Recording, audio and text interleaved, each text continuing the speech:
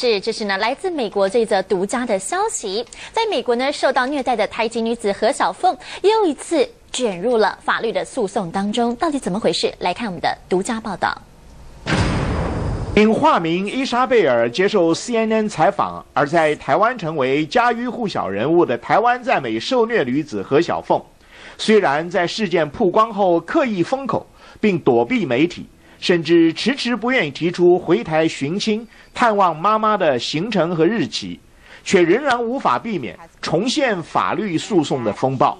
只不过这一次，他自己成了被告。何小凤，他你已经是啊，breach 这两个啊，已经是毁约了。为什么的话，在所有的 CNN 也好的话，在所有的媒体、主流媒体的话，已经暗示刘家有责任、有错。另外一方面的话，你不能够公开来里边的谈任何事情的。洛杉矶知名华裔刑事律师邓红曾经最早向中天记者透露，何小凤当年状告养父母后，双方曾经达成庭外和解，养父母珠宝店的保险公司出面赔偿何小凤大约八十到一百万美金，但是和解协议包含无过失和保密条款，何小凤上电视指责养父母虐待。明显违背了和解协议中无过失和保密的条款。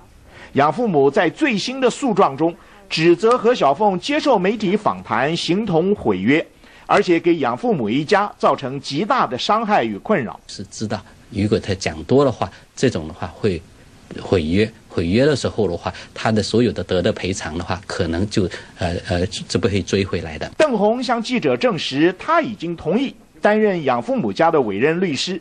目前正着手控告何小凤毁约，但是对于案子的内情或进展，他一概表示不便透露。